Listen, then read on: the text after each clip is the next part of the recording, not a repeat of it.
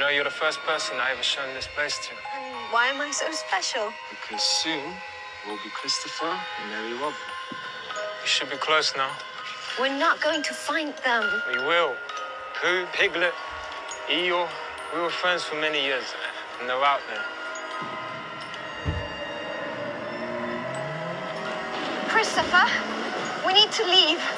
Now. I really need to find out what's happening okay?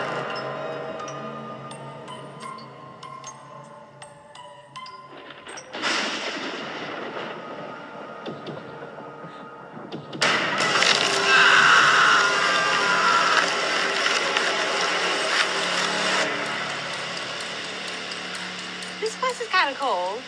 And um, did you say it has a pool? We need to go. There's. Uh, Laura's dead.